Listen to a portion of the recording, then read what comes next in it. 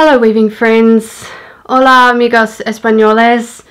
I thought I'd drop in to give you a little update and to um, do one of my little tips videos. This is something that several people have asked me about and it's like a lot of things in weaving, it's easier to show than it is to explain. First I want to give you an update on what's happening with my son. Um, most of you, well many of you, if you follow me on Facebook or Instagram or anywhere like that, um, you know that our son has been very sick these past few weeks, um, almost coming up to a month now. And, uh, okay, I'm going to try and say this without tearing up. He's um, basically had a really bad case of pneumonia and uh, he was in intensive care for a week. He's out of intensive care now, but he's having a lot of other complications of the pneumonia. He was actually booked for a second surgery today which was postponed uh, due to other emergencies, surgeries they had to do, and so now he, um, has to wait past the weekend and have his uh, surgery on Monday. It's going to be kind of a major one, so uh, I really thank you for all of your prayers, all of your messages, all the support you've shown me and my family at this time. It has been a really difficult time. Um, we just want to really get to that place in time where uh, we know he's going to be okay and he can come home again. Hopefully that will happen before too long. Um, I'm going to put a link in the comments section for a GoFundMe campaign that I've started for him. I thought it'd be really nice for him to come home to um, a, a bit of money to spend. He really loves filmmaking and um, filmmaking's not the cheapest hobby to have uh, but he's hoping to make a career out of it. And um, so yeah if you feel inclined to make a small donation any donation is welcome. Thank you very much. The link will be in the comments so um, I've done another video before on ending your you know joining in a new yarn when your yarn has ended. And I've done it as an overlap in the middle. But there's also another option that often works well particularly for um, a finer yarn I find. I really like this technique. So what I've done is I was weaving along.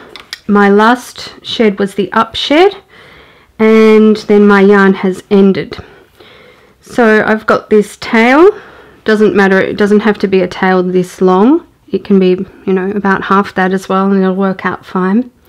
So my next shed is the down shed and I'm going to go ahead and go into the down shed. But with this tail, I'm going to grab the bottom three warp threads. Three is a, a good general number for using this technique. And I'm going to pull that tail over the three warp threads and tuck it down in the middle. So I just call this tucking in the tail basically. Then I'm going to bring in my new yarn, which I have ready to go. I'm going to go in that same down shed. This is, uh, I'm just doing plain weave here. And once again, I'm going to leave a tail, okay? Beat that shed and then back into the up shed again and then I'm going to grab that tail again grab my three bottom warp threads again and tuck it in so it catches on the edge there but it tucks down between those warp threads like so and then I can weave that shed and once I'm done with all of the weaving and I have wet finished my piece then these little joins will become virtually invisible. So this is the same technique but I'm just going to show you a little bit closer for those of you who need that extra visual assistance. So I finished in the up shed so I wove this this one in the up shed. I'm going to switch to the down shed and I'm going to take three of the bottom warp threads, not the top ones, the bottom.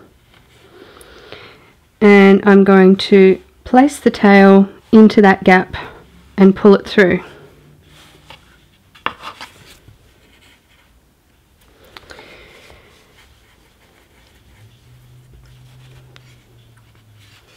Now I'm going to bring in my new yarn and weave that down shed. And I'm also going to leave a tail. Now I can beat and change to the up shed.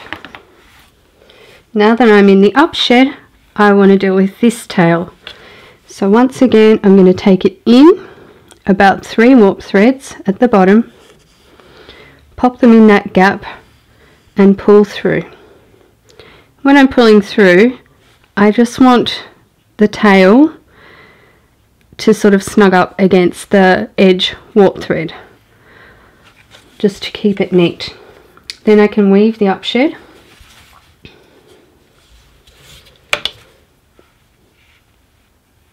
and beat